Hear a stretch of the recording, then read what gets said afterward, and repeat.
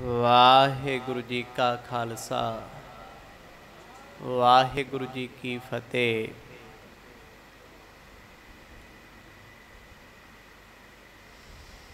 ਦੀਨ ਦੁਨੀਆ ਦੇ ਮਾਲਕ,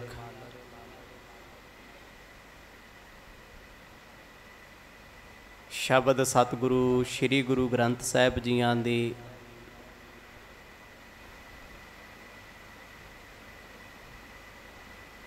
ਪਵਿੱਤਰ ਪਾਵਨ ਅੰਮ੍ਰਿਤ ਬਈ ਗੋਦ ਵਿੱਚ।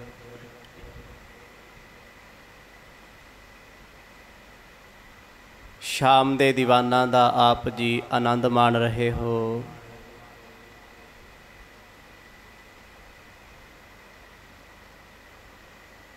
ਭਾਗਾਂ ਭਰਿਆ ਸਮਾਂ ਪ੍ਰਾਪਤ ਹੋਇਆ।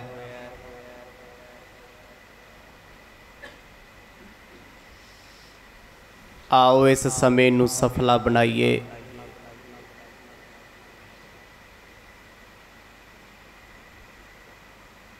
ਸਾਹਿਬਾਂ ਦੀ ਪਾਵਨ ਜੀਵਨ ਕਥਾ ਵਿੱਚੋਂ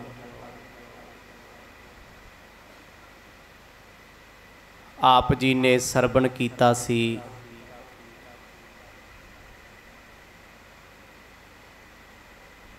ਗੁਰੂ ਨਾਨਕ ਸਾਹਿਬ ਸੱਚੇ ਪਾਤਸ਼ਾਹ ਜੀ ਨੂੰ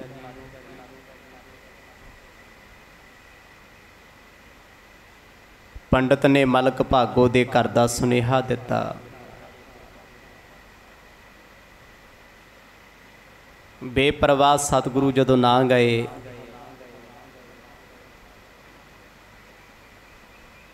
ਮਲਕ ਭਾਗੋ ਪੁੱਛਦਾ ਹੈ, ਮੇਰੇ ਬ੍ਰਹਮ ਭੋਜ ਵਿੱਚ ਸਾਰਾ ਏਮਨਾਬਾਦ ਹਾਜ਼ਰ ਹੋਇਆ ਹੈ? ਕੋਈ ਐਸਾ ਤੇ ਨਹੀਂ। ਜੋ ਇਸ ਜੱਗ ਵਿੱਚ ਹਾਜ਼ਰ ਨਾ ਹੋਇਆ ਹੋਵੇ। ਪੰਡਤ ਨੇ ਬੜੀ ਚਲਾਕੀ ਦੇ ਨਾਲ ਆਖਿਆ, ਇੱਕ ਨਾਨਕ ਤਪਾ ਜੀ ਨੇ।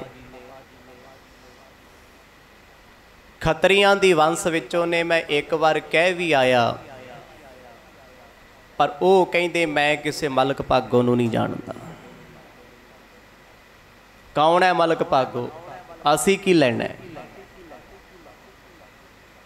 ਗੁੱਸੇ ਵਿੱਚ ਆ ਕੇ ਮਲਕ ਭਾਗੋ ਨੇ ਫੇਰ ਪੰਡਤ ਨੂੰ ਭੇਜਿਆ ਚੁਗਲੀ ਸੁਣ ਕੇ। ਪੰਡਤ ਭੱਜਿਆ ਆਇਆ, ਭਾਈ ਲਾਲੋ ਦੇ ਵਿਹੜੇ ਆ ਕੇ ਕਹਿੰਦਾ, ਨਾਨਕ ਕਿੱਥੇ ਨੇ? ਭਾਈ ਲਾਲੋ ਜੀ ਨੇ ਉਹਦੀ ਬੋਲੀ ਸੁਣੀ, ਉਹਦਾ ਹੰਕਾਰ ਵੇਖਿਆ, ਕਹਿੰਦੇ, ਆਵਾਜ਼ ਮਾਰ ਲਾ ਅੰਦਰ ਹੀ ਹੋਣੇ। ਜਿਉ ਹੀ ਪੰਡਤ ਹੰਕਾਰਿਆ ਹੋਇਆ ਵਿਹੜੇ ਵਿੱਚ ਬੜਿਆ ਗੁਰੂ ਨਾਨਕ ਸਾਹਿਬ ਮਹਾਰਾਜ ਕਹਿੰਦੇ, ਹਾਂ, ਦੱਸ ਕੀ ਆ ਭਾਈ? ਕਿਸ ਕੰਮ ਵਾਸਤੇ ਤੂੰ ਬਾਰ-ਬਾਰ ਆਉਣਾ ਜਦੋਂ ਤੈਨੂੰ ਅਸੀਂ ਕਹਿ ਦਿੱਤਾ, ਕਿਸੇ ਮਲਕ ਭਾਗ ਨੂੰ ਅਸੀਂ ਨਹੀਂ ਜਾਣਦੇ, ਅਸੀਂ ਲੈਣਾ ਕੀ? ਤੂੰ ਮੁੜਦਾ ਕਿਉਂ ਨਹੀਂ? ਪੰਡਤ ਕਹਿੰਦਾ, ਜੇ ਹੁਣ ਦੂਜੀ ਵਾਰ ਕਹੇ ਵੀ ਤੁਸੀਂ ਨਾ ਆਏ ਨਾ, ਯਾਦ ਕਰੋਗੇ ਤੁਹਾਡਾ ਕੀ ਕੁਝ ਹੋਣਾ ਹੈ? ਸਤਿਗੁਰ ਕਹਿੰਦੇ ਅਸੀਂ ਨਹੀਂ ਆਉਣਾ। ਪੰਡਤ ਭੱਜਿਆ ਆਇਆ, ਮਲਕ ਭਾਗੋ ਨੂੰ ਕਹਿੰਦਾ, ਮੰਤਰੀ ਸਾਹਿਬ, ਉਹ ਨਾਨਕ ਤਪਾ ਤੇ ਬੜੇ ਹੰਕਾਰ ਵਿੱਚ ਬੋਲਦਾ ਏ, ਉਹ ਕਹਿੰਦਾ, ਮੈਂ ਨਹੀਂ ਜਾਣਦਾ ਕਿਸੇ ਮਲਕ ਭਾਗੋ ਨੂੰ। ਕੌਣ ਹੈ ਮਲਕ ਭਾਗੋ? ਨਾ ਕਦੇ ਵੇਖਿਆ, ਨਾ ਕਦੇ ਆਇਆ, ਨਾ ਅਸੀਂ ਜਾਣਦੇ। ਹੁਣ ਇੱਕ ਹੰਕਾਰੀ ਪੁਰਸ਼ ਕਦੇ ਵੀ ਆਪਣੇ ਬਾਰੇ ਇਦਾਂ ਨਹੀਂ ਸੁਣ ਸਕਦਾ ਵੀ ਕੋਈ ਉਹਨੂੰ ਓਏ ਕਹਿ ਕੇ ਬੁਲਾਏ। ਇੱਥੋਂ ਤੱਕ ਆਪ ਜੀਆਂ ਨੇ ਪਾਵਨ ਕਥਾ ਦਾ ਆਨੰਦ ਮਾਣਿਆ ਆਓ ਕੁਝ ਸਮਾਂ ਮਨ ਚਿਤ ਬਿਰਤੀਆਂ ਨੂੰ ਇਕਾਗਰ ਚਿਤ ਬਣਾਈਏ। ਪ੍ਰੇਮ ਦੀ ਪਾਓ ਸਾਂਝ ਗੱਜ ਵੱਜ ਕੇ ਆਖੋ ਜੀ ਸਤਨਾਮ ਸ੍ਰੀ ਵਾਹਿਗੁਰੂ ਸਾਹਿਬ ਜੀ। ਸਤਨਾਮ ਸ੍ਰੀ ਵਾਹਿਗੁਰੂ ਸਾਹਿਬ ਜੀ। ਦੋਹਰਾ ਕਹੈ ਨਾ ਜਾਣੋ ਮਲਕ ਮੈਂ ਕੋ ਹੈ ਕਹਾਂ ਬਸਾਏ ਵੱਡੋ ਢੀਠ ਨਿਸਠੋਰ ਬਚਨ ਤੁਮ ਕੋ ਕਹੋ ਬਣਾਈ। ਜਦੋਂ ਦੂਜੀ ਵਾਰ ਬੁਲਾਇਆ ਤੋਂ ਜਗਤ ਗੁਰੂ ਗੁਰੂ ਨਾਨਕ ਸਾਹਿਬ ਮਹਾਰਾਜ ਮਲਕ ਭਾਗੋ ਦੇ ਘਰ ਨਹੀਂ ਆਏ ਨਾ। ਹੁਣ ਪੰਡਤ ਜਾ ਕੇ ਚੁਗਲੀ ਕਰਦਾ ਹੈ, ਉਹ ਸਤਿਗੁਰਾਂ ਦੇ ਪਰਥਾਏ ਆਪ ਸ਼ਬਦ ਬੋਲਦਾ ਹੈ। ਕਹਿੰਦਾ ਜੀ, ਮੈਂ ਉਸ ਨਾਨਕ ਤਪੇ ਕੋਲ ਦੂਜੀ ਵਾਰ ਤੁਹਾਡੇ ਕਹੇ ਤੋਂ ਗਿਆ, ਉਹ ਕਹਿੰਦੇ ਅਸੀਂ ਕਿਸੇ ਮਲਕ ਭਾਗੋ ਨੂੰ ਨਹੀਂ ਜਾਣਦੇ, ਨਾ ਸਾਡਾ ਕੋਈ ਲੈਣ ਦੇਣ ਹੈ। ਹੋਰ ਤੇ ਗੱਲ ਛੱਡੋ। ਤੁਹਾਡੇ ਬਾਰੇ ਉਹਨੇ ਇੰਨੇ ਕੌੜੇ ਸ਼ਬਦ ਬੋਲੇ ਨੇ ਮੰਦੇ ਸ਼ਬਦ ਵਰਤੇ ਆ। ਭਾਗੋ ਜੀ, ਮੈਂ ਦੱਸ ਨਹੀਂ ਸਕਦਾ। ਉਹ ਕਹਿੰਦੇ, ਮੇਰਾ ਕਰੇਗਾ ਕੀ? ਕੀ ਵਿਗਾੜ ਸਕਦਾ ਮੇਰਾ ਮਲਕ ਭਾਗੋ? ਅਸੀਂ ਦਰਵੇਸ਼ ਹਾਂ, ਅਸੀਂ ਫਕੀਰ ਹਾਂ। ਸਾਡਾ ਲੈਣ ਦੇਣ ਕਿਸੇ ਰਾਜੇ ਮਹਾਰਾਜੇ ਨਾਲ ਕੋਈ ਨਹੀਂ। ਤੇ ਤੇਰਾ ਮਲਕ ਭਾਗੋ ਸਾਨੂੰ ਤੰਗ ਕਿਉਂ ਕਰਦਾ ਹੈ? ਹੁਣ ਇਹ ਗੱਲਾਂ ਤੇ ਗੁਰੂ ਸਾਹਿਬ ਨੇ ਨਹੀਂ ਕਹੀਆਂ। ਪਰ ਉਹ ਨਿੰਦਿਆ ਵਿੱਚ ਈਰਖਾ ਵਿੱਚ ਸਤਿਗੁਰਾਂ ਤੋਂ ਸੜਦਾ ਏ ਸੜੇ ਹੋਏ ਨੇ ਬਨਾਵਟੀ ਗੱਲਾਂ ਕਰ ਕਰਕੇ ਕਰ ਕਰਕੇ ਮਲਕ ਭਾਗੋ ਨੂੰ ਉਕਸਾਇਆ ਏ। ਚੋਪਈ ਨਹੀਂ ਬਲਾਇਓ ਏਠਾਂ ਆਵੇ। ਕਰਹੁ ਅਬੈ ਜਿਉ ਹਿਰਦੈ ਭਾਵੇ। ਐ ਮਲਕ ਭਾਗੋ ਜੀ ਜਨਾਬ ਮੇਰੇ ਬੁਲਾਇਆ ਉਹਨਾਂ ਨਹੀਂ ਆਉਣਾ। ਮੈਂ ਦੋ ਵਾਰ ਬੁਲਾ ਕੇ ਵੇਖ ਲਿਆ, ਨਾਨਕ ਤਪਾ ਜੀ ਬੜੇ ਘਮੰਡ ਵਿੱਚ ਬੋਲਦੇ ਆ। ਉਹ ਕਹਿੰਦੇ, ਤੂੰ ਮੈਨੂੰ ਲਿਜਾ ਨਹੀਂ ਸਕਦਾ ਤੇ ਨਾ ਸਾਡਾ ਲੈਣ ਦੇਣਾ ਹੈ ਕੋਈ।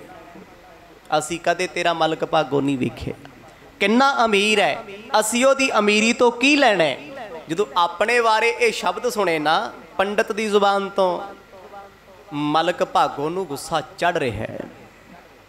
ਵੀ ਮੈਂ ਏਡਾ ਵੱਡਾ ਬ੍ਰਹਮ ਭੋਜ ਕੀਤਾ, ਏਡਾ ਵੱਡਾ ਯੱਗ ਕੀਤਾ, ਲੋਕ ਮੇਰੀਆਂ ਸਿਫਤਾਂ ਕਰਦੇ ਨਹੀਂ ਥੱਕਦੇ ਤੇ ਇਹੋ ਜਿਹਾ ਕਿਹੜਾ ਵਿਅਕਤੀ ਹੈ ਜਿਹੜਾ ਮੇਰੀ ਨਿੰਦਿਆ ਕਰਦਾ ਹੈ, ਮੈਨੂੰ ਮਾੜਾ ਬੋਲਦਾ ਹੈ ਤੇ ਜਿਹੜਾ ਕਹਿੰਦਾ ਮੈਂ ਉਹਦੇ ਬ੍ਰਹਮ ਜੱਗ ਨੂੰ ਮੰਨਦਾ ਹੀ ਨਹੀਂ। ਪੰਡਤ ਕਹਿੰਦਾ ਜੀ, ਮੈਨੂੰ ਨਾ ਆਖਿਓ, ਮੈਂ ਨਹੀਂ ਜਾਣਾ।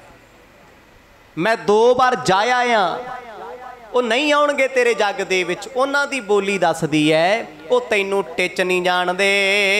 ਤਬ ਭੋਜਨ ਕੀ ਕਰ ਹੈ ਨੰਦਾ?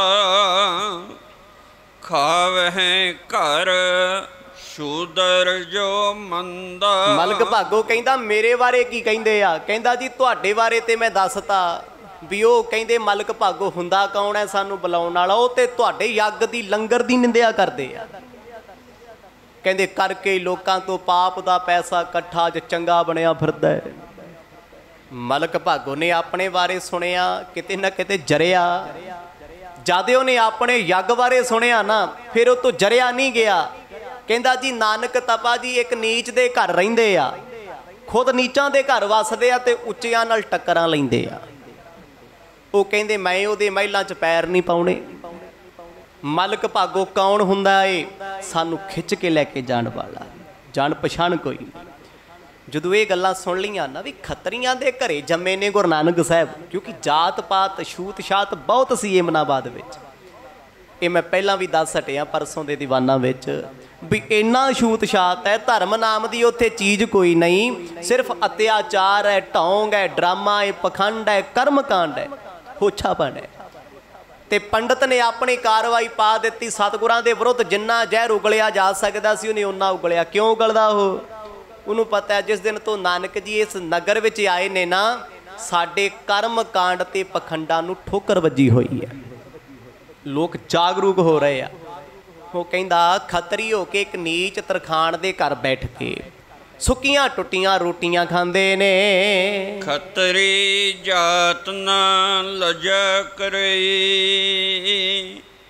ਲੋਕ ਰੀਤ ਔਰ ਤੇ ਪਰ ਹਰੀ। ਇੱਕ ਤੇ ਲੋਕਾਚਾਰੂ ਰੀਤ ਨਾਨਕ ਜੀ ਨੇ ਛੱਡੀ ਹੋਈ ਹੈ ਦੂਜੀ ਆਪਣੇ ਧਰਮ ਮਜਬ ਨੂੰ ਛੱਡਤਾ ਨਾ ਜਨੇਊ ਪਾਇਆ ਹੋਇਆ ਨਾ ਮੱਥੇ ਤਿਲਕ ਲਾਇਆ ਨਾ ਉਹ ਧੋਤੀ ਲਾਉਂਦੇ ਨੇ।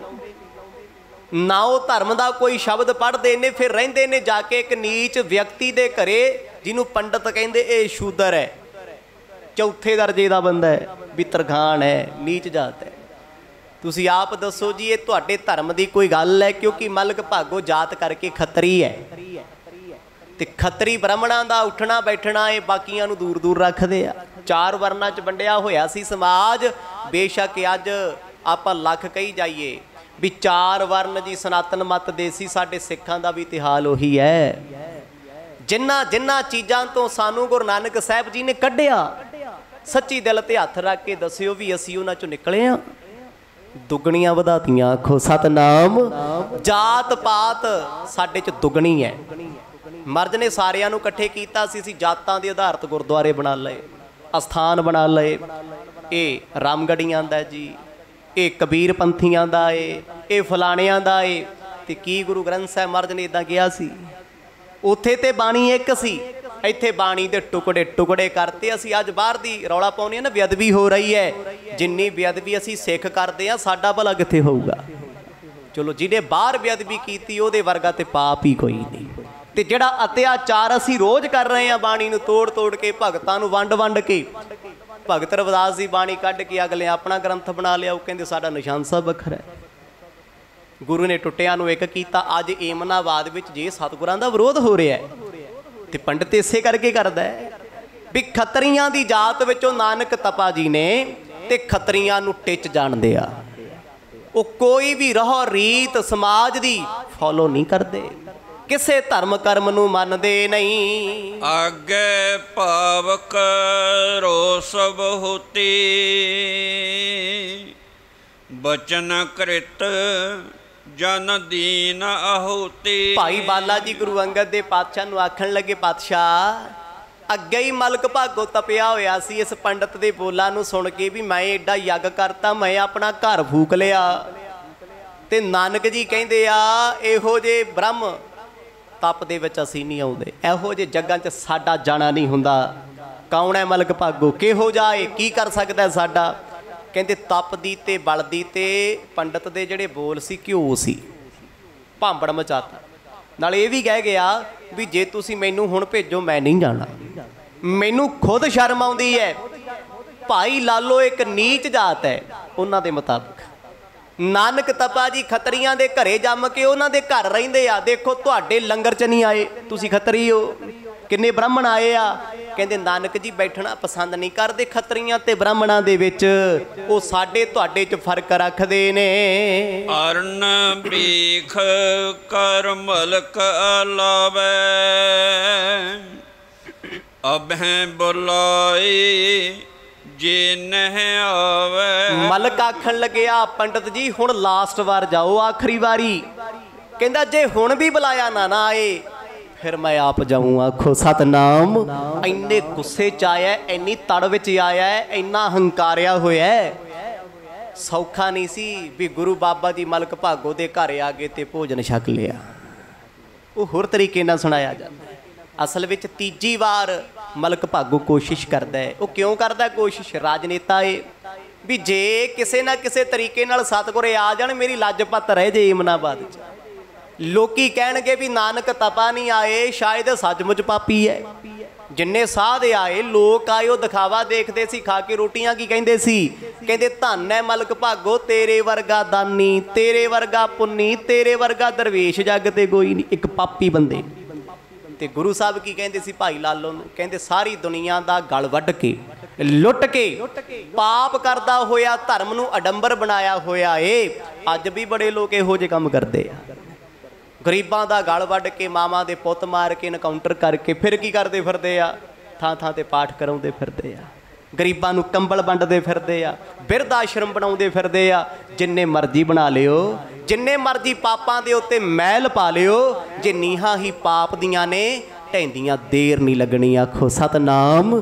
ਬਹੁਤ ਨੇ ਸਾਡੀ ਕੌਮ ਦਾ ਨੁਕਸਾਨ ਕਰਨ ਵਾਲੇ ਅੱਜ ਦਾਨ ਪੁੰਨ ਕਰ ਰਹੇ ਆ। ਮਲਕ ਭਾਗੋ ਨੇ। ਪਹਿਲਾਂ ਵੀ ਸੀ। ਗੁਰੂ ਸਾਹਿਬ ਨੇ ਪ੍ਰਸੰਗ ਵਰਤਾ ਕੇ ਇੱਕ ਵਾਰ ਨਹੀਂ ਦਿਖਾਇਆ। ਸਤਿਗੁਰ ਕਹਿੰਦੇ, ਕਲਯੁਗ 'ਚ ਵਰਤਦਾ ਰਹਿਣਾ ਹੈ। ਵਰਤ ਰਿਹਾ ਹੈ, ਵਰਤਦਾ ਰਹੇਗਾ। ਮਲਕ ਭਾਗੋ ਕਹਿੰਦਾ, ਜਾਓ, ਆਖਰੀ ਵਾਰ ਜਾਓ, ਪੰਡਤ ਜੀ, ਤੁਹਾਡਾ ਵੀ ਬਾਰ-ਬਾਰ ਜਾਣਾ। ਮੈਨੂੰ ਚੰਗਾ ਨਹੀਂ ਲੱਗਦਾ ਤੁਸੀਂ ਪੂਜਣ ਯੋਗ ਹੋ। ਇੱਕ ਨਾਨਕ ਜੀ ਦੇ ਘਰੇ ਜਾ ਰਹੇ ਹੋ ਤੇ ਦੂਜਾ ਲਾਲੋ ਦੇ ਘਰੇ, ਤੁਹਾਡੇ ਵਾਰ-ਵਾਰ ਜਾਣ ਵਿੱਚ ਨਾਨਕ ਜੀ ਤੋਹੀਨ ਤੁਹਾਡੀ ਕਰਦੇ ਆ। ਮੈਂ ਸ਼ਰਮਿੰਦਾ ਹਾਂ, ਪਰ ਗੁੱਸੇ 'ਚ ਕਹਿੰਦਾ ਹੈ, ਜੇ ਹੁਣ ਵੀ ਨਾ ਆਏ, ਮੈਂ ਚੁੱਕ ਕੇ ਲੈ ਆਵਾਂਗਾ। ਇੱਥੋਂ ਤੱਕ ਗੱਲ ਆ ਗਈ। ਹੁਣ ਇਹ ਕੋਈ ਨਿਮਰਤਾ ਤੇ ਹੈ ਨਹੀਂ, ਇਹ ਪਿਆਰ ਤੇ ਹੈ ਨਹੀਂ। ਤੁਸੀਂ ਕਿਸੇ ਨੂੰ ਆਖੋ, ਬਾਬਾ, ਸਾਡੇ ਘਰ ਆਉਣਾ ਤੇ ਠੀਕ ਆ, ਨਹੀਂ ਚੁੱਕ ਲੈ ਜਾਾਂਗੇ ਰੋਟੀ ਖਵਾਉਣ ਵਾਸਤੇ। ਵੀ ਅਸੀਂ ਪੰਜ ਸਿੱਖ ਲੈ ਕੇ ਜਾਣੇ ਆ, ਉਹ ਕਹਿੰਦੇ, ਅਸੀਂ ਨਹੀਂ ਜਾਣਾ। ਕਹਿੰਦੇ, ਇਦਾਂ ਕਿੱਦਾਂ ਨਹੀਂ ਜਾਂਦੇ? ਡਾਂਗ ਫੇਰਾਂਗੇ, ਚੁੱਕ ਲੈ ਜਾਾਂਗੇ ਫਿਰ ਲੱਗੂ ਪ੍ਰਸ਼ਾਦਾ। ਦੱਸੋ ਜੀ, ਧੱਕੇ ਨਾਲ ਖਵਾਈ ਰੋਟੀ ਲੱਗ ਜੂ? ਇਹ ਤੇ ਪ੍ਰੇਮ ਦੀ ਭਾਵਨਾ ਦੀ ਗੱਲ ਹੈ। ਪਰ ਸਾਰੀ ਦੁਨੀਆ ਚਾਰ ਆਸ਼ਰਮ ਚਾਰ ਵਰਨ ਕਹਿੰਦੇ ਆ, ਮਲਕ ਭਾਗੋ ਵਰਗਾ ਦਾਨੀ ਕੋਈ ਨਹੀਂ। ਦੁਨੀਆ ਤੇ ਖਾਣ ਦੀ ਭੁੱਖੀ ਜੋ ਮਰਜ਼ੀ ਖਵਾ ਦਿਓ ਤੇ ਜੋ ਮਰਜ਼ੀ ਕਹਾ ਦਿਓ। ਸਮਾਜ ਇੱਥੇ ਖੜਾ ਹੈ। ਇਹ ਤੋਂ ਅੱਗੇ ਨਹੀਂ ਹੈ। ਹੁਣ ਮਲਕ ਭਾਗੋ, ਇਹ ਚੰਗੀ ਤਰ੍ਹਾਂ ਜਾਣਦਾ ਸੀ, ਪ੍ਰੋੜਤਾ ਸੀ ਵੀ ਦੁਨੀਆ ਨਾਲ ਜੋ ਮਰਜ਼ੀ ਕਰੀ ਜਾਓ, ਇਹਨਾਂ ਦੀ ਭੁੱਲਣ ਸ਼ਕਤੀ ਬਹੁਤ ਵੱਡੀ ਹੈ। ਇਹ ਭੁੱਲ ਜਾਂਦੇ ਆ ਸਾਡੇ ਨਾਲ ਕੀ ਹੋਇਆ? ਤੇ ਮਲਕ ਭਾਗੋ ਨੇ ਜਦੋਂ ਪੰਡਤ ਨੂੰ ਕਿਹਾ, ਪੰਡਤ ਕਹਿੰਦਾ, ਮੈਂ ਹੁਣ ਇਕੱਲੇ ਨਹੀਂ ਜਾਣਾ। ਮੈਂ ਦੋ ਵਾਰ ਕਹਿ ਆਇਆ ਉਹ ਮੇਰੇ ਆਖੇ ਲੱਗਦੇ ਨਹੀਂ। ਬਹੁ ਨਰ ਜਾਵੋ ਗਹਿ ਅਨੀਜੈ। ਦਿਜ ਕੀ ਸੰਗ ਬਿਲਮ ਨਹਿ ਕੀਜੈ। ਜਦੋਂ ਪੰਡਤ ਜੀ ਨੇ ਜਾਣ ਤੋਂ ਜਵਾਬ ਦੇਤਾ ਇਹ ਪੰਡਤ ਦਾ ਟ੍ਰਿਕ ਸੀ ਇੱਕ ਕਿਉਂਕਿ ਉਹ ਸਤਿਗੁਰਾਂ ਪ੍ਰਤੀ ਬਹੁਤ ਨਫ਼ਰਤ ਕਰਦਾ ਹੈ। ਹਉਮੈ ਰੱਖਦਾ ਅੰਦਰ ਸਾੜਾ ਵੀ ਕਰਦਾ ਹੈ। ਮਲਕ ਭਾਗੋ ਨੇ ਪੰਜ ਸਿਪਾਹੀ ਬੁਲਾਏ। ਪੂਰੇ ਤਿਆਰ ਬਰ ਤਿਆਰ ਉੱਚੇ ਲੰਬੇ ਜਵਾਬ ਪੰਜਾਂ ਨੂੰ ਹੁਕਮ ਕੀਤਾ, ਪੰਡਤ ਜੀ ਦੇ ਨਾਲ ਜਾਓ। ਜੇ ਨਾਨਕ ਜੀ ਨੇ ਤਿੜ ਫਿੜ ਕੀਤੀ, ਅੱਗੇ ਬੋਲੇ, ਨਹੀਂ ਆਉਣਗੇ, ਫਿਰ ਆਪਣੇ ਹਿਸਾਬ ਨਾਲ ਲੈ ਆਇਓ, ਆਖੋ, ਸਤਨਾਮ, ਮੁਸ਼ਕਾਂ ਬੰਨ ਕੇ ਲੈ ਕੇ ਆਇਓ ਫਿਰ। ਪਹਿਲਾ ਪਿਆਰ ਨਾਲ, ਕਿਉਂਕਿ ਜਦੋਂ ਪੁਲਿਸ ਜਾਊਗੀ, ਪੰਜ ਬੰਦੇ ਜਾਣਗੇ, ਉਹਨਾਂ ਤੇ ਵੇਖ ਕੇ ਆਪੇ ਕਹਿ ਦੇਣਾ ਜੀ, ਅਸੀਂ ਆਪੇ ਜਾਵਾਂਗੇ। ਮਲਕ ਭਾਗੋ ਦਾਬਾ ਦਿੰਦਾ ਕਿਉਂਕਿ ਮੰਤਰੀ ਹੈ ਇਮਨਾਬਾਦ ਦਾ। ਰਾਜਾ ਨਹੀਂ ਹੈ, ਮੰਤਰੀ। ਰਾਜਿਆਂ ਤੋਂ ਵੱਧ ਪਾਵਰਾਂ ਰੱਖਦੇ ਆ ਮੰਤਰੀ। ਐਕਸ਼ਨ ਚ ਆ ਜਾਂਦੇ ਆ। ਹੁਣ ਮਲਕ ਭਾਗੋ ਦਾ ਇੱਥੇ ਵਿਕਾਰ ਦਾ ਸਵਾਲ ਬਣਿਆ ਹੋਇਆ ਹੈ ਸੈਲਫ ਰਿਸਪੈਕਟ ਵੀ 99% ਲੋਕ ਤੇ ਮੈਨੂੰ ਕਹਿੰਦੇ ਆ, ਇਹ ਦਾਨੀ ਪੁੰਨੀ ਹੈ। ਨਾਨਕ ਕਹਿੰਦੇ ਇਹੋ ਜੇ ਪਾਪੀ ਦੇ ਘਰ ਮੈਂ ਨਹੀਂ ਜਾਣਾ। ਹੁਣ ਔਖਾ ਨਾ। ਤੇ ਜਦੋਂ ਪੰਜ ਸਿਪਾਹੀ ਭੇਜੇ, ਪੰਡਤ ਬੜਾ ਖੁਸ਼ ਵੀ ਜਦੋਂ ਇਹ ਸਿਪਾਹੀ ਜਾਣਗੇ ਤੇ ਨਾਨਕ ਜੀ ਕੀ ਕਹਿਣਗੇ? ਲੋਕ ਕੀ ਕਹਿਣਗੇ? ਸੁਭਾਵਿਕ ਗੱਲ ਹੈ ਜੀ, ਕਿਸੇ ਦੇ ਘਰੇ ਪੁਲਿਸ ਵਾਲਾ ਵੀ ਇੱਕ ਗੇੜੀ ਮਾਰਦੇ, ਭਾਵੇਂ ਮਿੱਤਰੇ ਹੋਵੇ। ਚਰਚਾ ਤੇ ਜ਼ਮਾਨੇ 'ਚ ਉਦੋਂ ਵੀ ਹੁੰਦੀ ਹੈ। ਅਗਲਾ ਕਹਿੰਦੇ ਇਹਨਾਂ ਦੇ ਘਰ ਪੁਲਿਸ ਆਈ ਸੀ। ਸੁਭਾਵਿਕ ਗੱਲ ਹੈ। ਭਾਈ ਲਾਲੋ ਬਾਰੇ ਦਾ- ਜਾਣਦੇ ਸੀ ਵੀ ਉਹ ਛੋਟੀ ਜਾਤ ਚੋਂ ਹੈ, ਡਰ ਛੇਤੀ ਜਾਏਗਾ। ਜਦੋਂ ਪੁਲਿਸ ਵਾਲੇ ਪੰਜ ਘਰੇ ਜਾਣਗੇ, ਸਿਪਾਹੀ ਜਾਣਗੇ, ਤੇ ਭਾਈ ਲਾਲੋ ਆਪ ਹੀ ਕਹੇਗਾ, ਨਾ ਮਰਜ਼ ਤੁਸੀਂ ਜਾਓ। ਇਹ ਉਹ ਸੋਚ ਰਹੇ ਆ। ਵਿਰੋਧੀ ਧਿਰ ਨੇ ਇਹ ਮਨ ਵਿੱਚ ਖਿਆਲ ਕੀਤਾ ਏ। ਦੋਹਰਾ ਲੇਕਰ ਪਾਂਚ ਕ ਮਨਜ ਪੁਨ ਦਿਜ ਤਬ ਗਇਓ ਰਸਾਏ ਉੱਚੇ ਬਚਨ ਉਚਾਰ ਕੇ ਨਾਨਕ ਲਏ ਬੁਲਾਏ। ਪਹਿਲੇ ਦਿਨ ਪੰਡਤ ਬੇਨਤੀ ਕਰਦਾ ਸੀ ਦੂਜੇ ਦਿਨ ਆਇਆ ਸਲਾਹ ਦੇਣ ਵੀ ਤੁਹਾਨੂੰ ਜਾਣਾ ਚਾਹੀਦਾ। ਅੱਜ ਪੰਜ ਸਿਪਾਹੀ ਨੇ। ਪੈਰ ਨਹੀਂ ਧਰਤੀ ਤੇ ਲੱਗਦੇ। ਅੱਜ ਹੰਕਾਰਿਆ ਫਿਰਦਾ, ਆਫਰਿਆ ਫਿਰਦਾ ਆ ਕੇ ਦਰਵਾਜ਼ੇ ਤੇ ਲਲਕਾਰਾ ਮਾਰਿਆ। ਉੱਚੀ ਬੋਲਦਾ ਕਹਿੰਦਾ, ਉਹ ਨਾਨਕ ਜੀ ਬਾਹਰ ਆਓ। ਬਦਲ ਗਿਆ ਸਟਾਈਲ। ਬੰਦਾ ਵਕਤ ਵਕਤ ਨਾਲ ਬਦਲਦਾ ਰਹਿੰਦਾ ਹੈ। ਬੰਦੇ ਨੂੰ ਬਦਲਣ ਦੇ ਵਾਸਤੇ ਕੁਝ ਕਾਰਨ ਚਾਹੀਦੇ ਆ।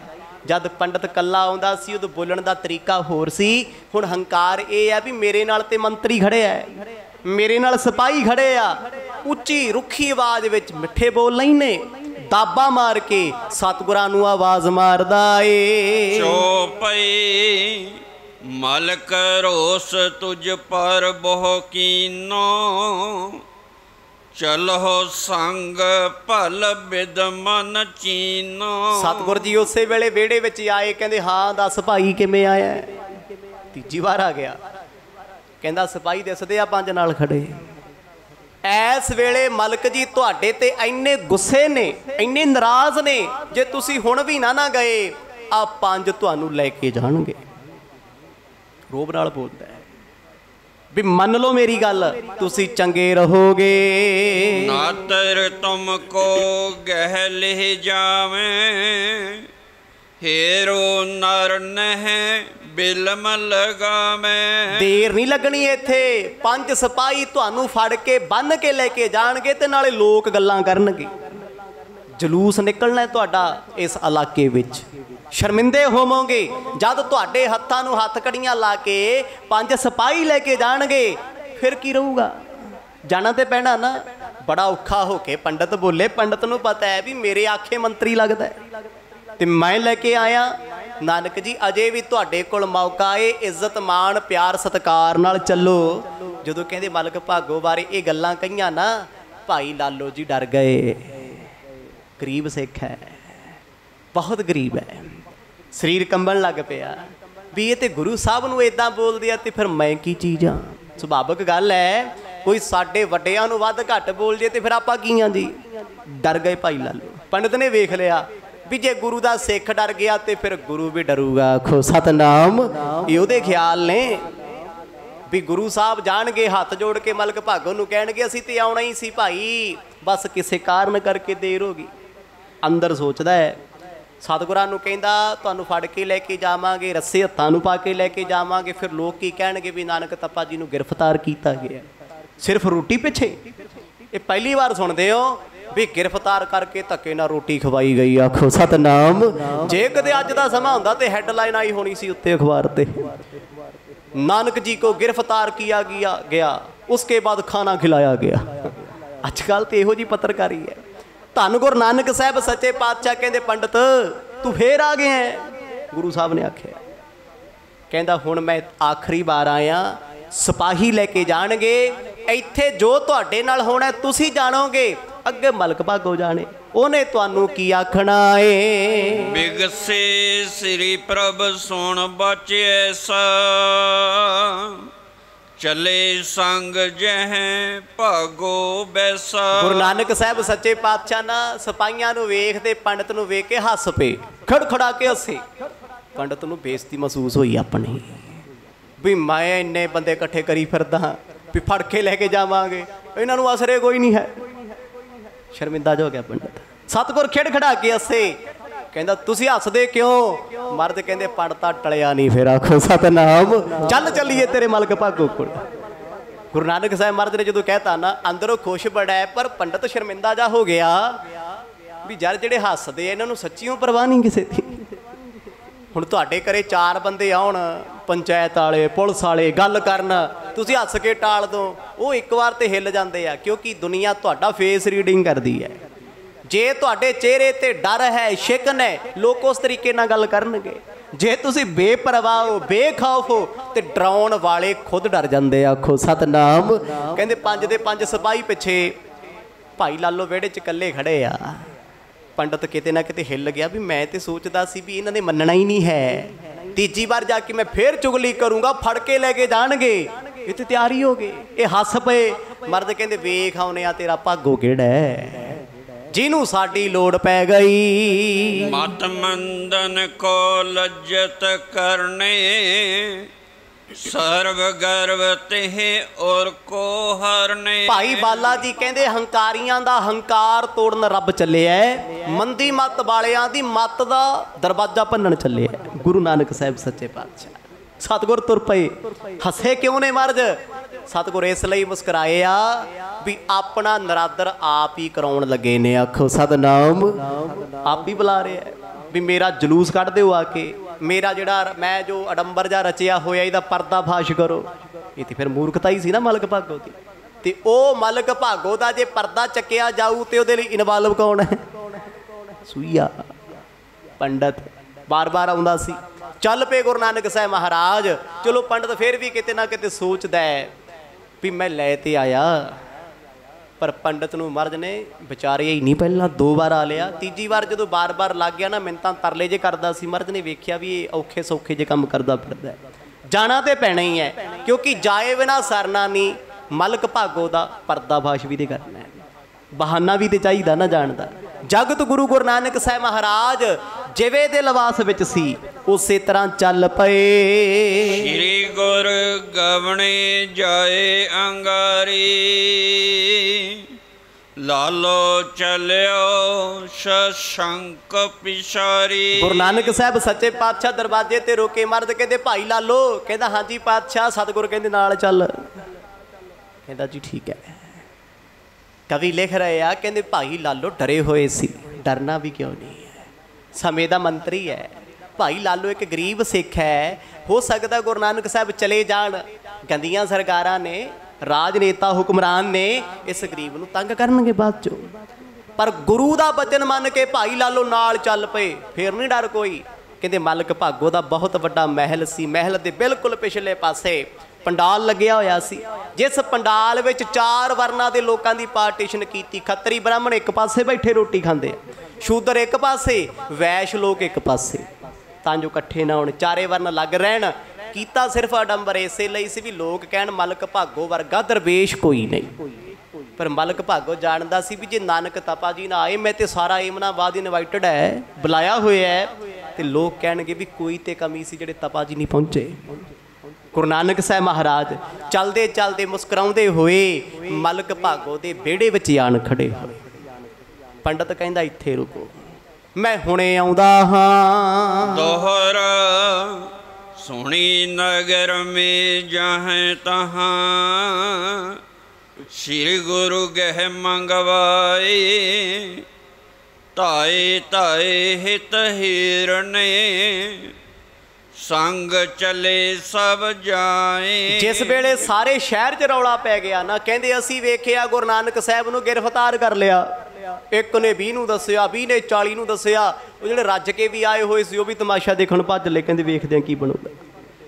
ਕਈ ਤੇ ਸਤਿਗੁਰਾਂ ਨੂੰ ਜਾਣਦੇ ਆ ਵੀ ਜੋ ਮਰਜ਼ੀ ਹੋ ਜੇ, ਗੁਰੂ ਨਾਨਕ ਸਾਹਿਬ ਮਹਾਰਾਜ ਕਤਰਾ ਕਤਰਾ ਹੋ ਸਕਦੇ, ਪਰ ਪਾਪੀ ਦੇ ਘਰ ਦਾ ਪਾਣੀ ਨਹੀਂ ਪੀਣਗੇ। ਤੇ ਜਿਹੜੇ ਈਰਖਾ ਕਰਦੇ ਸੀ, ਕਹਿੰਦੇ ਅੱਜ ਵੇਖਾਂਗੇ ਤਪਾ ਜੀ ਦਾ ਤਪ। ਜਦੋਂ ਮਾਲਕ ਭਾਗੋ ਨੇ ਕਹਿਣਾ, ਨਾ ਭੋਜਨ ਖਾਓ, ਵੇਖਦੇ ਆ ਮਨਾ ਕਿੱਦਾਂ ਕਰਦੇ ਆ। ਤਮਾਸ਼ਾ ਬਣ ਗਿਆ ਲੋਕਾਂ ਲਈ। ਚੰਗਾ ਹੋ ਗਿਆ ਇਹ ਤੇ ਦੁਨੀਆ ਦੀ ਭੀੜ ਇਕੱਠੀ ਹੋ ਗਈ। ਹਜ਼ਾਰਾਂ ਲੋਕ ਮਲਕ ਭਾਗੋ ਦੇ ਦੁਆਰੇ ਆ ਗਏ। ਚੋਪਈ ਜਾਏ ਮਲਕ ਢਿਗ ਬਚਨ ਆਲਾਇਓ ਅਬ ਨਾਨਕ ਤੁਮਰੇ ਪੈ ਆਇਓ। ਹੁਣ ਜਿਹੜਾ ਚਮਚਾ ਸੀ ਪੰਡਤ ਉਹ ਅੰਦਰ ਗਿਆ ਮਲਕ ਭਾਗੋ ਦੇ ਮਹਿਲ 'ਚ। ਸਤਗੁਰ ਵਿਹੜੇ 'ਚ ਖੜੇ ਆ।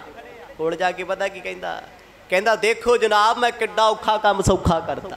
ਕਹਿੰਦਾ ਕੀ ਹੋਇਆ? ਨਾਨਕ ਤਪਾ ਤੁਹਾਡੇ ਦੁਆਰੇ ਆ ਗਿਆ ਹੈ। ਸ਼ਬਦਾਵਲੀ ਆਹੀ ਸੀ ਉਹਦੀ। ਸਾਡੇ ਤੇ ਸਤਗੁਰ ਨੇ ਨਾ ਗੁਰੂ ਨਾਨਕ ਸਾਹਿਬ ਸੱਚੇ ਪਾਤਸ਼ਾਹ।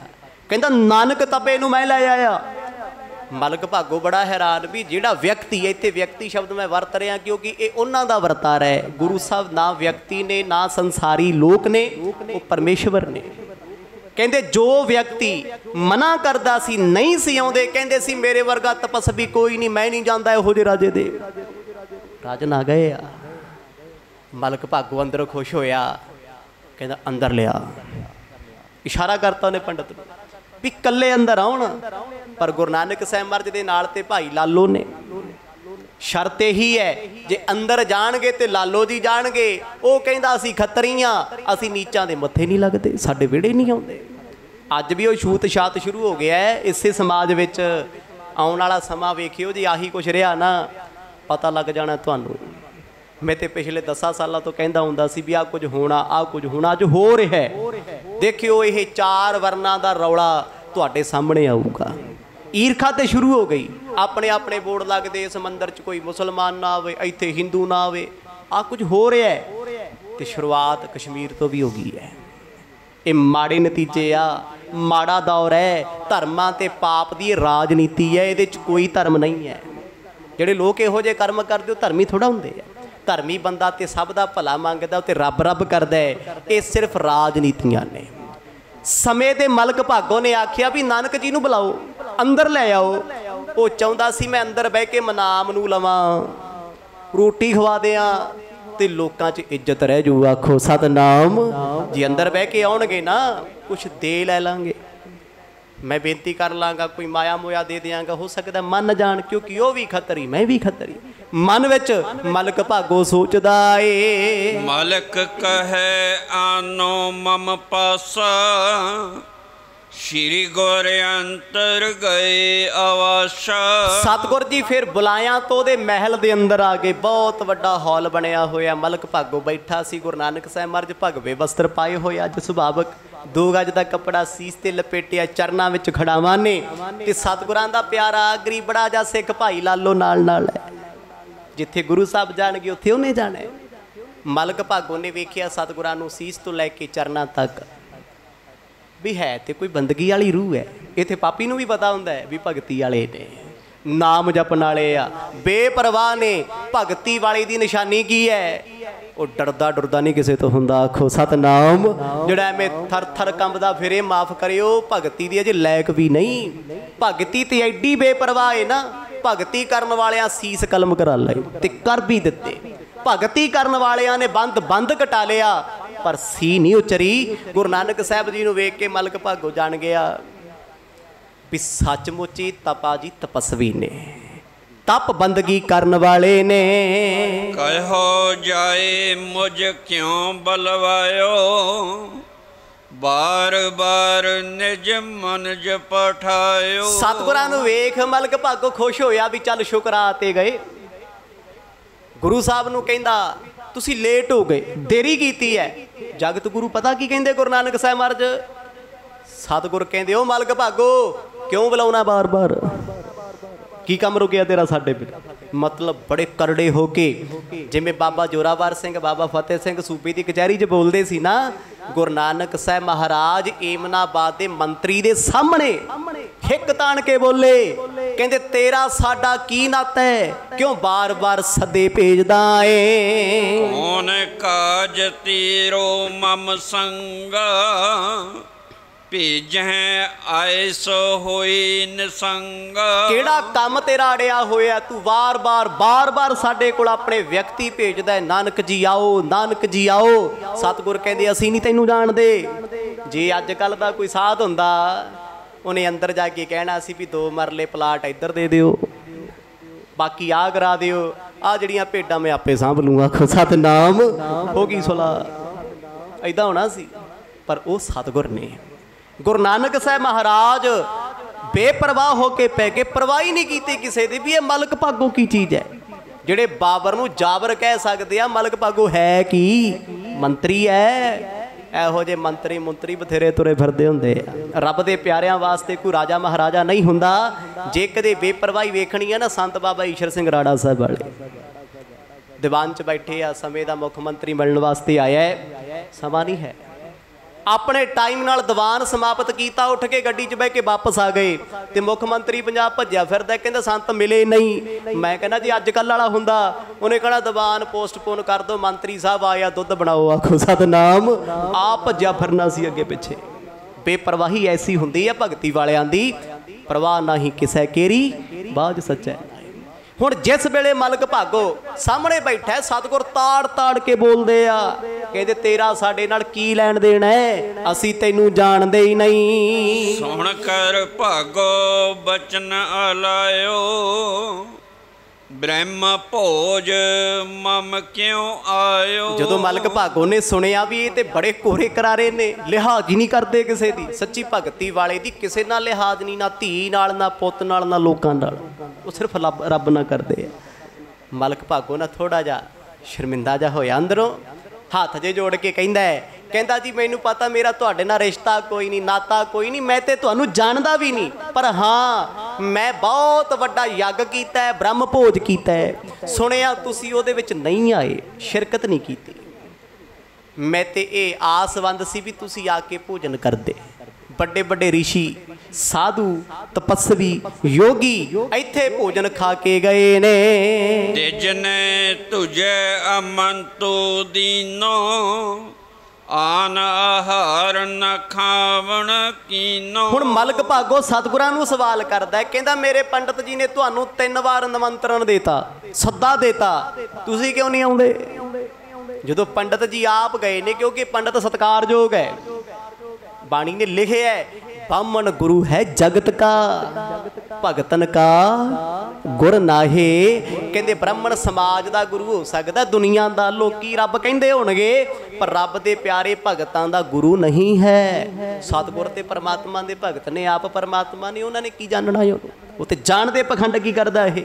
ਕਹਿੰਦਾ ਜੀ, ਤੁਹਾਨੂੰ ਦੋ ਵਾਰ ਨਿਮੰਤਰਣ ਪਹਿਲਾਂ ਦਿੱਤਾ ਹੈ, ਤੀਜੀ ਵਾਰੀ ਹੁਣ ਗਏ ਨੇ, ਤੁਸੀਂ ਹਰ ਵਾਰ ਠੁਕਰਾਉਂਦੇ ਰਹੇ ਹੋ। ਬ੍ਰਹਮ ਭੋਜ ਮੈਂ ਦੋਖੂ ਕਵਨਾ, ਜਿਹੇ ਭਿਖ ਨਹਿ ਆਵੇਂ ਮੁਝ ਭਵਣਾ। ਸਤਿਗੁਰਾਂ ਨੇ ਕੋਈ ਜਵਾਬ ਨਾ ਦਿੱਤਾ, ਫੇਰ ਮਲਕ ਭਾਗੋ ਕਹਿੰਦਾ ਕਹਿੰਦਾ ਐਸਾ ਸਾਡੇ ਬ੍ਰਹਮ ਭੋਜ ਵਿੱਚ ਕੀ ਘਾਟ ਹੈ? ਕਿਹੜੀ ਕਮੀ ਹੈ? ਵੀ ਨਾਨਕ ਜੀ, ਤੁਸੀਂ ਨਹੀਂ ਆਏ? ਉਹਨੇ ਸਵਾਲ ਕੀਤੇ ਆ ਵੀ ਮੇਰੇ ਸਵਾਲਾਂ ਦਾ ਜਵਾਬ ਦਿਓ। ਮੈਂ ਇੱਕ ਵਾਰ ਬੰਦਾ ਭੇਜਿਆ, ਦੋ ਵਾਰ ਭੇਜਿਆ, ਤਿੰਨ ਵਾਰ ਭੇਜਿਆ, ਕੀ ਕਮੀ ਹੈ ਸਾਡੇ ਲੰਗਰ 'ਚ? ਕਿਉਂ ਨਹੀਂ ਆਉਂਦੇ ਤੁਸੀਂ? ਬੜਾ ਔਖਾ ਸਵਾਲ ਸੀ। ਭਾਈ ਲਾਲੋ ਵੇਖ ਰਹੇ ਆ ਵੀ ਹੋ ਕੀ ਰਿਹਾ ਹੈ। ਤੇ ਪੰਡਤ ਬੜਾ ਖੁਸ਼ ਹੈ ਵੀ ਤਪਾ ਜੀ ਨੂੰ ਜਵਾਬ ਨਹੀਂ ਆਉਣਾ। ਆਖੋ, ਸਤਨਾਮ, ਕੀ ਦੱਸਣਗੇ? ਵੀ ਮੈਂ ਖਤਰੀਆਂ ਦੇ ਘਰ ਦਾ ਭੋਜਨ ਨਹੀਂ ਖਾਂਦਾ। ਉਹ ਬ੍ਰਾਹਮਣ ਤਿਆਰ ਖੜਾ ਕੋਲੇ ਵੀ ਜੇ ਤੁਸੀਂ ਇੱਕ ਨੀਚ ਬੰਦੇ ਦੇ ਘਰੇ ਰੋਟੀ ਖਾ ਸਕਦੇ, ਉਹਨਾਂ ਦੇ ਕਹਿਣ ਮੁਤਾਬਕ ਭਾਈ ਲਾਲੋ ਵਰਗਾ ਮਹਾਨ ਮਹਾਪੁਰਖ ਉੱਚਾ ਸਾਧੂ ਕੋਈ ਨਹੀਂ। ਪਰ ਇਹਨਾਂ ਦੇ ਮੁਤਾਬਕ ਉਹ ਕਹਿੰਦੇ ਜੇ ਤੁਸੀਂ ਇੱਕ ਨੀਚ ਵਿਅਕਤੀ ਦੇ ਘਰ ਰਹਿ ਕੇ ਰੋਟੀ ਖਾ ਸਕਦੇ ਹੋ, ਤੇ ਖੱਤਰੀ ਦੇ ਘਰ ਰੋਟੀ ਖਾਣ ਚ ਕੀ ਨਾਰਾਜ਼ਗੀ ਹੈ? ਕੀ ਕਮੀ ਹੈ? ਬ੍ਰਾਹਮਣ ਸੋਚੀ ਬੈਠਾ ਸੀ। ਇਸੇ ਕਰਕੇ ਹੈਰਾਨ ਆ ਵੀ ਹੁਣ ਨਾਨਕ ਜੀ ਬੋਲਣਗੇ ਕੀ? ਮਲਕ ਭਾਗੋ ਕਹਿੰਦਾ ਜੀ, ਮੈਂ ਏਡਾ ਵੱਡਾ ਯੱਗ ਕੀਤਾ, ਬ੍ਰਹਮ ਭੋਜ ਕੀਤਾ, ਲੱਖਾਂ ਲੋਕ ਆਏ ਨੇ, ਭੋਜਨ ਕਰਕੇ ਗਏ ਨੇ। ਸਾਰੇ ਇਸ ਲੰਗਰ ਦੀ ਸਿਫਤ ਕਰਦੇ ਗਏ ਨੇ। ਇੱਕ ਤੁਸੀਂ ਹੋ ਜਿਨ੍ਹਾਂ ਨੇ ਵਿਰੋਧਤਾ ਕੀਤੀ ਹੈ ਹਮ ਫਕੀਰ ਸਭ ਤੀ ਸੋ ਬਿਦਾਵੇ ਜਹ ਗੁਜਰੇ, ਤਹ ਹੀ ਗੁਜਰਾਵੇ। ਮਰਦ ਕਹਿੰਦੇ, ਅਸੀਂ ਨਾ ਤੇਰੇ ਚਾਰ ਵਰਨਾਂ ਵਿੱਚੋਂ ਹਾਂ। ਉਹ ਕਹਿੰਦਾ, ਮੈਂ ਚਾਰ ਵਰਨ ਬੁਲਾਏ, ਖੱਤਰੀ ਬ੍ਰਾਹਮਣ, ਸ਼ੂਦਰ, ਵੈਸ਼, ਹੁਣ ਸਤਗੁਰ ਜੀ ਪਰਿਵਾਰ ਕਰਕੇ ਖੱਤਰੀ ਨੇ, ਪਰ ਉਹ ਨਹੀਂ ਨੇ। ਉਹ ਤੇ ਨਿਰੰਕਾਰ ਨੇ। ਸਤਗੁਰ ਕਹਿੰਦੇ, ਅਸੀਂ ਫਕੀਰ ਆ ਬਿਦਾਵੈ ਅਸੀਂ ਦਾਅਵੇ ਨਹੀਂ ਕਰਦੇ, ਗਰੰਟੀਆਂ ਨਹੀਂ ਦਿੰਦੇ। ਦਾਅਵੇ ਦਾ ਅਰਥ ਹੁੰਦਾ ਗਰੰਟੀ। ਬਾਣੀ ਲਿਖਦੀ ਹੈ ਨਾ, ਦਾਵੈ ਦਾਜਨ ਹੋਤ ਹੈ ਨਿਰਦਾਵੈ ਰਹਿ ਨਿਸੰਕ, ਜੋ ਜਨ ਨਿਰਦਾਵੇ ਰਹਿ ਗਣੈ ਇੰਦਰ ਸੋ ਰੰਕ ਦੁਨੀਆ ਕਰਦੀ ਵਾਦੇ ਜਮਾਨਾ ਕਰਦਾ ਦਾਵੇ ਤੇ ਰੱਬ ਦੇ ਪਿਆਰੇ ਨਿਰਦਾਵੇ ਹੋ ਕੇ ਰਹਿੰਦੇ ਆ। ਉਹ ਕਹਿੰਦੇ, ਜਿੱਥੇ ਮਿਲ ਗਿਆ ਭੋਜਨ ਛਕ ਲੈ, ਜਿੱਥੇ ਰਾਤ ਆਈ ਗੁਜ਼ਾਰ ਲਈ। ਸਾਡੇ ਦਾਵੇ ਥੋੜਾ ਮੈਂ ਏਸੀ ਲਾ ਕੇ ਸੌਣਾ ਸਾਡੇ ਦਾਵੇ ਥੋੜਾ ਵੀ ਮੈਂ ਸੱਤ ਮੰਜ਼ਲੀ ਕੋਠੀ ਬਣਾਉਣੀ ਹੈ। ਫਕੀਰਾਂ ਦੇ ਦਾਵੇ ਨਹੀਂ ਹੁੰਦੇ। ਬੇਪਰਵਾਹੀ ਹੁੰਦੀ ਹੈ। ਮਰਦ ਕਹਿੰਦੇ, ਸਾਡਾ ਦਾਵਾ ਹੀ ਕੋਈ ਨਹੀਂ ਜ਼ਿੰਦਗੀ ਦੇ ਉੱਤੇ। ਤੇ ਫਿਰ ਤੇਰੇ ਨਾਲ ਕਾਦੀ ਉੱਠਣੀ ਬੈਠਣੀ? ਜਦੋਂ ਜ਼ਿੰਦਗੀ ਦਾ ਦਾਵਾ ਨਹੀਂ ਤੇ ਤੇਰੇ ਨਾਲ ਕਾਦਾ ਤੇ ਫਿਰ ਸਤਿਗੁਰ ਕਹਿੰਦੇ ਆ, ਜੋ ਜਨ ਨਿਰਦਾਵੈ ਰਹੈ, ਜੋ ਇਨਸਾਨ ਇਸ ਦੁਨੀਆ ਤੇ ਬਿਨਾ ਦਾਅਵਿਆਂ ਤੋਂ ਰਹਿੰਦਾ ਨਾ, ਵਾਅਦੇ ਨਹੀਂ ਕਰਦਾ। ਗਣੈ ਇੰਦਰ ਸੋ ਰੰਕ ਕਹਿੰਦੀ ਉਹ ਤੇ ਰਾਜੇ ਇੰਦਰ ਨੂੰ ਵੀ ਕੰਗਾਲ ਸਮਝਦਾ, ਆਖੋ, ਸਤਨਾਮ, ਵੀ ਅਸੀਂ ਕਿਸੇ ਰਾਜੇ ਤੋਂ ਕੀ ਲੈਣਾ ਸਾਨੂੰ ਕੀ ਕਿਸੇ ਸਰਕਾਰ ਤੋਂ? ਸਾਡੀ ਤੇ ਆਪਣੀ ਸਰਕਾਰ ਹੈ। ਅੱਜ ਵੀ ਤੁਸੀਂ ਵੇਖਿਆ ਹੋਣਾ, ਬੜੇ ਤੁਹਾਨੂੰ ਸਿੱਖ ਦਰਵੇਸ਼ ਮਿਲਣਗੇ। ਜੇ ਕੋਈ ਆ ਕੇ ਤੈਨੂੰ ਫਲਾਣੇ ਮੰਤਰੀ ਕੋਲ ਲੈ ਜਾ, ਕਹਿੰਦੇ, ਨਾ, ਸਾਡਾ ਬਾਜਾਂ ਵਾਲਾ ਸ਼ਹਿਨशाह ਸਾਡਾ ਪਿਤਾ ਸ੍ਰਿਸ਼ਟੀ ਦਾ ਮਾਲਕ, ਓਏ, ਅਸੀਂ ਇਹਨਾਂ ਲੰਡੀਆਂ ਪੁੱਚੀਆਂ ਤੋਂ ਕੀ ਲੈਣਾ? ਨਿਹੰਗ ਸਿੰਘਾਂ ਦੀ ਬੋਲੀ ਹੈ ਇਹ। ਅਸੀਂ ਨਹੀਂ ਜਾਂਦੇ ਕਿਸੇ ਕੋਲ, ਨਹੀਂ ਮੰਗਦੇ ਕਿਸੇ ਕੋਲ, ਕਿਉਂਕਿ ਸਾਡਾ ਸਤਿਗੁਰੂ ਸ੍ਰਿਸ਼ਟੀ ਦਾ ਰਾਜਾ ਏ। ਤੇ ਸੱਚਮੁੱਚ ਹੈ ਇਹ ਬੇਪਰਵਾਹੀ ਹੁੰਦੀ ਹੈ ਬੜੇ ਐਸੇ ਗੁਰਸਿੱਖ ਤੁਹਾਨੂੰ ਅੱਜ ਵੀ ਮਿਲ ਜਾਣਗੇ, ਬੇਪਰਵਾਹੀ ਦੇ ਆਲਮ 'ਚ ਰਹਿੰਦੇ ਆ। ਗੁਰੂ ਨਾਨਕ ਸਾਹਿਬ ਜੀ ਨੂੰ ਉਹਨੇ ਸਵਾਲ ਕੀਤਾ ਸੀ, ਤੁਸੀਂ ਬ੍ਰਹਮ ਭੋਜ ਵਿੱਚ ਕਮੀ ਕੀ ਕੱਢ ਰਹੇ ਹੋ? ਮਰਦ ਕਹਿੰਦੇ, ਤੇਰੇ ਬ੍ਰਹਮ ਭੋਜ ਕਮੀ ਨਹੀਂ ਕੱਢੀ, ਨਾ ਅਸੀਂ ਨਿੰਦਿਆ ਕੀਤੀ। ਉਹ ਸਾਡਾ ਤੇਰੇ ਨਾਲ ਲੈਣ ਦੇਣੀ ਕੋਈ ਨਹੀਂ। ਤੂੰ ਰਾਜਾ ਸੀ ਫਕੀਰ ਹੈ। ਕੀ ਸਮਝੌਤਾ ਸਾਡਾ? ਤੇਰੇ ਵੱਡੇ ਵੱਡੇ ਦਾਅਵੇ ਨੇ ਤੂੰ ਦਾਅਵੇ ਕਰਕੇ ਲੰਗਰ ਕੀਤਾ ਬ੍ਰਹਮ ਭੋਜ ਕੀਤਾ ਅਸੀਂ ਨਿਰਦਾਵੇ ਆ ਅਸੀਂ ਇਹ ਤਾਂ ਨਹੀਂ ਕਿਹਾ ਵੀ ਕੋਈ ਨਹੀਂ ਤੂੰ ਚੱਲ ਅਸੀਂ ਆਏ। ਇਹ ਤੇ ਇੱਕ ਵਾਰ ਵੀ ਨਹੀਂ ਕਿਹਾ ਹਾਂ ਜੇ ਪੰਡਤ ਨੂੰ ਕਹਿੰਦੇ ਦਾਵਾ ਕਰਦੇ ਵੀ ਅਸੀਂ ਆਏ ਤੇ ਨਾ ਆਉਂਦੇ। ਮਰਦ ਕਹਿੰਦੇ ਤੂੰ ਤਾਂ ਅੱਖਾਂ ਕੱਢਦਾ। ਤੂੰ ਤਾਂ ਬੋਲਦਾ ਸਾਨੂੰ ਅਸੀਂ ਕੋਈ ਦਾਵਾ ਕੀਤਾ ਨਹੀਂ। ਦੋਹਰਾ ਜਹਾਂ ਬਣੀ ਅਚਵੀ ਤਾਹੀ ਲਾਲਚ ਅਚਵਨ ਨਾਹੀ। ਭਾਈ ਸਾਡਾ ਤੇ ਬ੍ਰਹਮ ਭੋਜ ਸਦਾ ਏ। ਜਿੱਥੇ ਬਣ ਗਿਆ ਭੋਜਨ ਉੱਥੇ ਛਕ ਲਿਆ ਸੀ ਤੇ ਕਦੇ ਖਾਣ ਦਾ ਲਾਲਚੀ ਨਹੀਂ ਕੀਤਾ। ਤੇ ਜਿਹੜੇ ਆਮ ਲੋਕ ਇਕੱਠੇ ਹੋਏ ਸੀ, ਵੱਡੇ ਵੱਡੇ ਸਾਧ ਵੀ ਆਏ ਨਾ, ਉਹ ਖਾ ਕੇ ਰੋਟੀਆਂ ਲੈ ਕੇ ਪੈਸੇ ਸਿਫਤਾਂ ਕਰਦੇ ਫਿਰਦੇ ਸੀ। ਸਿਆਣੇ ਕਹਿੰਦੇ ਹੁੰਦੇ ਸੀ, ਕਹਿੰਦੇ ਜਿਹਦੇ ਖਾਏ ਟਿਕੜੇ, ਉਸੇ ਕੇ ਗਾਏ ਗੀਤੜੇ। ਵੀ ਜਿਹਦੀ ਖਾਦੀ ਰੋਟੀ, ਉਹਦੀਆਂ ਸਿਫਤਾਂ ਕਰੋ, ਚੋਰ ਨੂੰ ਸਾਧ ਬਣਾ ਦਿਓ। ਸਾਧ ਨੂੰ ਚੋਰ ਬਣਾ ਦਿਓ। ਭੁੱਖ ਨੰਗੇ ਨੂੰ, ਰਾਜਾ ਬਣਾ ਦਿਓ, ਸਿਫਤਾਂ ਕਰੋ, ਔਗਣ ਤੇ ਪਰਦਾ ਪਾ ਕੇ, ਪਰ ਇਹ ਨਹੀਂ ਹੈ। ਗੁਰੂ ਨਾਨਕ ਸਾਹਿਬ ਸੱਚੇ ਪਾਤਸ਼ਾਹ ਆਖਣ ਲੱਗੇ, ਕਹਿੰਦੇ, ਸਾਡਾ ਦਾਵਾ ਕੋਈ ਨਹੀਂ, ਜਿੱਥੇ ਭੋਜਨ ਮਿਲ ਗਿਆ, ਛਕ ਲਈਦਾ ਹੈ। ਉਹੀ ਬ੍ਰਹਮ ਭੋਜ ਹੈ। ਬ੍ਰਹਮ ਨੂੰ ਕਹਿੰਦੇ ਆ? ਜਿੱਥੇ ਇੱਕ ਰੱਬ ਨੂੰ ਹਾਜ਼ਰ ਸਮਝ ਕੇ ਰੋਟੀ ਖਾਧੀ ਜਾਏ। ਇੱਥੇ ਕਾਹਦਾ ਬ੍ਰਹਮ ਭੋਜ ਸੀ?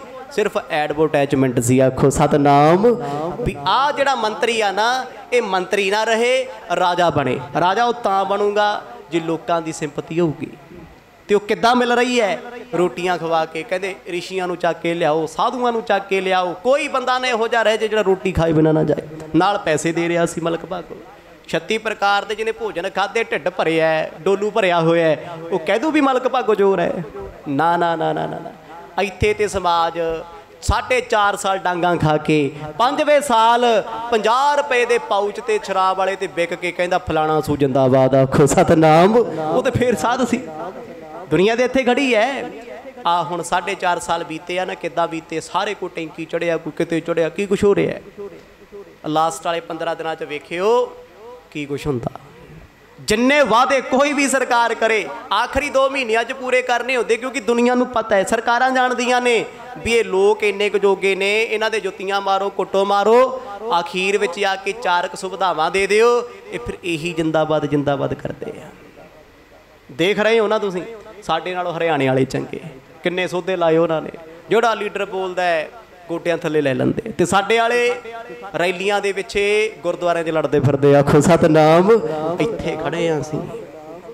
ਆ ਸਾਡਾ ਵਜੂਦ ਰਹਿ ਗਿਆ। ਇਹ ਉਹ ਪੰਜਾਬੀ ਨੇ ਜਿਹੜੇ ਕਦੇ ਨਾ ਅਫਗਾਨ ਤੱਕ ਰਾਜ ਕਰਦੇ ਸੀ। ਅੱਜ ਮੁਫਤ ਦੀਆਂ ਚੀਜ਼ਾਂ ਪਿੱਛੇ ਤੁਰੇ ਫਿਰਦੇ ਵੀ ਆਟਾ ਦਾਲ ਸਕੀਮ ਸਾਨੂੰ ਮਿਲ ਜੂ। ਅੱਜ ਕੌਮ ਇੱਥੇ ਖੜ ਗਈ ਸਾਡੀ ਆ ਕੇ। ਇਹ ਉਹ ਕੌਮ ਹੈ ਜਿਸ ਕੌਮ ਦੇ ਵਿੱਚ ਕਦੇ ਆ ਕੇ ਅੰਗਰੇਜ਼ ਨੌਕਰੀ ਕਰਦੇ ਸੀ ਮਹਾਰਾਜਾ ਰਣਜੀਤ ਸਿੰਘ ਕੋਲ, ਅੰਗਰੇਜ਼ ਆ ਕੇ। ਤੇ ਅੱਜ ਇਹ ਕੌਮ ਕਿਹੜੇ ਪਾਸੇ ਤੁਰੀ ਫਿਰਦੀ ਹੈ? ਭੁੱਲ ਗਈ ਆਪਣਾ ਇਤਿਹਾਸ, ਭੁੱਲ ਗਈ ਆਪਣਾ ਵਿਰਸਾ। ਗੁਰੂ ਨਾਨਕ ਸਾਹਿਬ ਮਹਾਰਾਜ ਨੇ ਤਾੜ ਕੇ ਕਹਿਤਾ, ਮਲਕ ਭਾਗੋ ਨੂੰ। ਕਹਿੰਦੇ, ਅਸੀਂ ਤੇਰੇ ਭੋਜਨ ਤੋਂ ਕੀ ਲੈਣਾ ਤੇਰਾ ਬ੍ਰਹਮ ਭੋਜ ਜਗ ਜਮਾਨੇ ਲਈ ਹੋਵੇਗਾ।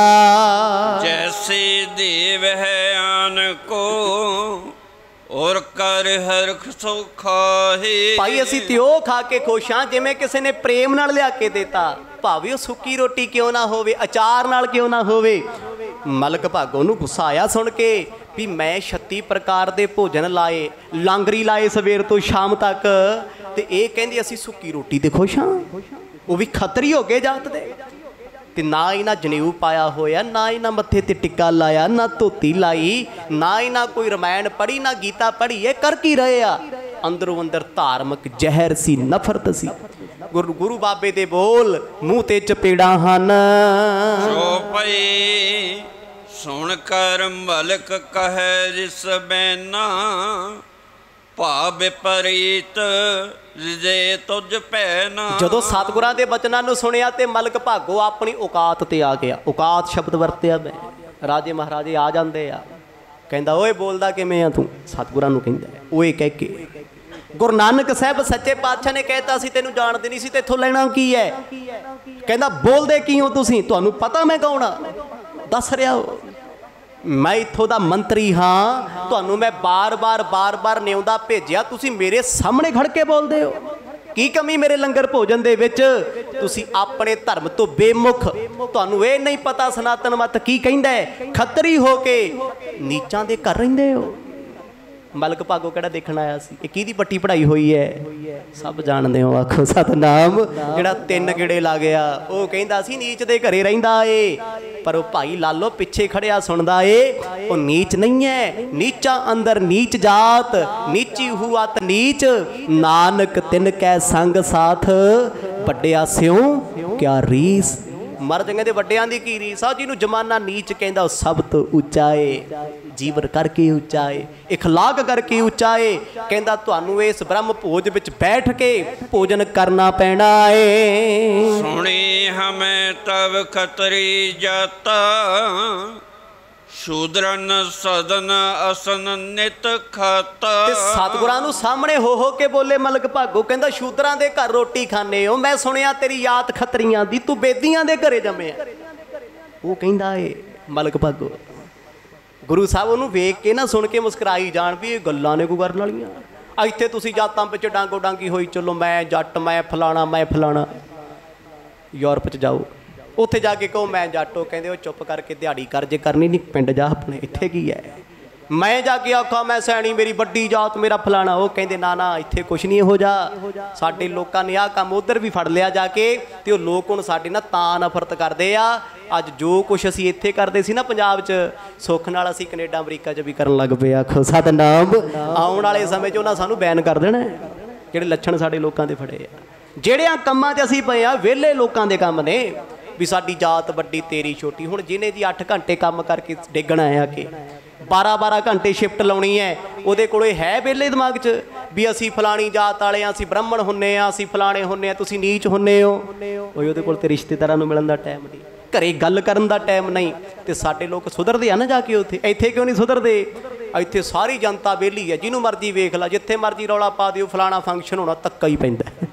ਉਧਰ ਨਹੀਂ ਹੈ। ਇਹੀ ਕਾਰਨ ਹੈ। ਕਿਉਂਕਿ ਉੱਥੇ ਆ ਜਾਤਵਾਦ ਘਟੀ ਹੋਈ ਹੈ। ਪਹਿਲੇ ਦਿਨ ਤੋਂ ਹੀ ਤੇ ਸਾਡੇ ਇੱਥੇ ਸਿਰ ਚੜੀ ਹੋਈ ਹੈ। ਗੁਰੂ ਨਾਨਕ ਸਾਹਿਬ ਜੀ ਨੂੰ ਬੋਲਿਆ, ਮਲਕ ਭਾਗੋ, ਕਹਿੰਦਾ, ਨੀਚਾਂ ਦੇ ਘਰੇ ਤੁਸੀਂ 15 ਦਿਨਾਂ ਤੋਂ ਰਹਿ ਰਹੇ ਹੋ। ਟੁਕੜੇ ਖਾਂਦੇ ਹੋ, ਖੱਤਰੀ ਹੋ ਕੇ। ਤੁਸੀਂ ਆਪਣੇ ਜਾਤ ਦੀ, ਆਪਣੇ ਧਰਮ ਦੀ, ਆਪਣੇ ਮਜਹਬ ਦੀ ਇੱਜ਼ਤ ਨਹੀਂ ਰੱਖੀ। ਗੁਰੂ ਸਾਹਿਬ ਨੂੰ ਕਹਿੰਦਾ ਕਹਿੰਦਾ, ਕੀ ਫ਼ਰਕ ਸੀ? ਮੈਂ ਵੀ ਖੱਤਰੀ ਸੀ, ਤੁਸੀਂ ਵੀ ਖੱਤਰੀ ਸੀ। ਮੇਰੇ ਘਰ ਆਉਂਦੇ, ਇੱਥੇ ਰਹਿੰਦੇ, ਰੋਟੀ ਖਾਂਦੇ, ਮਾਣ ਸਨਮਾਨ ਕਰਦੇ। ਪਰ ਕਹਿੰਦਾ, ਮੈਨੂੰ ਪਤਾ ਹੈ, ਤੂੰ ਸਾਧ ਨਹੀਂ ਹੈ, ਤੂੰ ਤਪਸਵੀ ਨਹੀਂ ਹੈ, ਤੂੰ ਨੀਚਾਂ ਦੇ ਘਰੇ ਰਹਿਣਾ ਹੈ। ਗੁਰੂ ਨਾਨਕ ਸਾਹਿਬ ਜੀ ਨੂੰ ਕਹਿੰਦਾ, ਤੈਨੂੰ ਭੋਜਨ ਕਰਨਾ ਹੀ ਪੈਣਾ ਅੱਜ। ਇਹ ਆ ਵੀ ਧੱਕੇ ਨਾਲ ਰੋਟੀ ਖਵਾਉਣ ਵਾਲਾ ਕੰਮ ਹੈ। ਆਪ ਜੀ ਨੇ ਪਿਛਲੇ ਤਿੰਨ ਪ੍ਰਸੰਗਾਂ ਵਿੱਚ ਸੁਣਿਆ ਸੌਖੇ ਨਹੀਂ ਆਗੇ ਗੁਰੂ ਸਾਹਿਬ ਮਲਕ ਭਾਗੋ ਦੇ ਘਰੇ? ਬੜਾ ਕਹਿਣਾ ਸੌਖਾ ਹੈ ਵੀ ਲਾਲੋ ਦੇ ਘਰ ਗਏ, ਫਿਰ ਮਲਕ ਭਾਗੋ ਦੇ ਆ ਗਏ। ਮਲਕ ਭਾ- ਭਾਗੋ ਨੇ ਕੀ ਕੀ ਪਾਪੜ ਵੇਲੇ ਆ? ਗੁਰੂ ਸਾਹਿਬ ਨੂੰ ਇੱਥੇ ਲਿਆਉਣ ਵਾਸਤੇ। ਹੁਣ ਜਿਨੇ, ਜੋ ਕੁਝ ਉਹਨੇ ਕੀਤਾ ਕਿਵੇਂ ਕਿਵੇਂ ਭੁਗਤੇਗਾ? ਕੀ ਕੀ ਉਹਦੇ ਨਾਲ ਹੋਣਾ ਸਤਿਗੁਰਾਂ ਦੀ ਕਿਰਪਾ ਨਾਲ ਕੱਲ ਦੇ ਦੀਵਾਨਾਂ 'ਚ ਸਰਵਣ ਕਰਾਂਗੇ।